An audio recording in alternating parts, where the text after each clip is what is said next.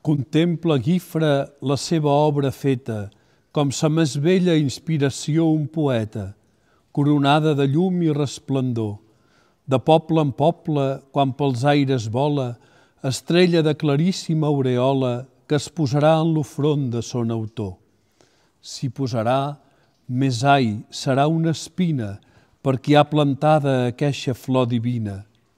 Des de sa cel·la mira del cadí, l'aigua enfundir lo còrrec de migdia, i li apar que li diga nit i dia, ton homicidi o guifre jo el vegí. De les esqueres la brugent cascada, entre el verd cavallera destrenada, que irisa el sol naixent amb sa llum d'or, li fa record d'una altra cavallera que rossolada el canigó vegera, fent en la neu un rastre de rossó.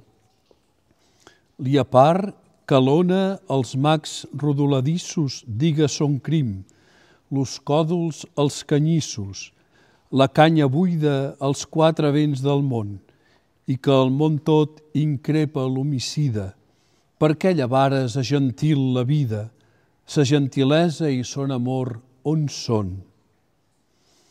Una horrible fantasma en son desfici a la gola l'empeny del precipici, i altres fantasmes baix amb crit etern, vine, li diuen, vine prest, tu ets nostre. És lo trespol això que prens per sostre, sota eix abisme udola el de l'infern. Esfereït, la cel·la deshabita i el nord s'allotja en altra més petita, niu del temple posat més a redós, i amb l'oració al bon Déu i amb l'ocilici, com amb ses mans l'arranca del suplici, tornant-li ses diades de repòs.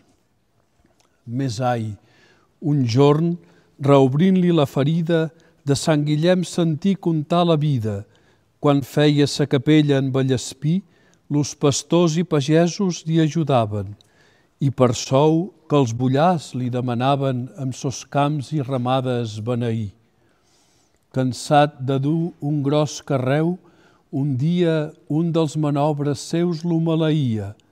L'ermità li digué, llança aquest roc, no faria en mon temple paret bona.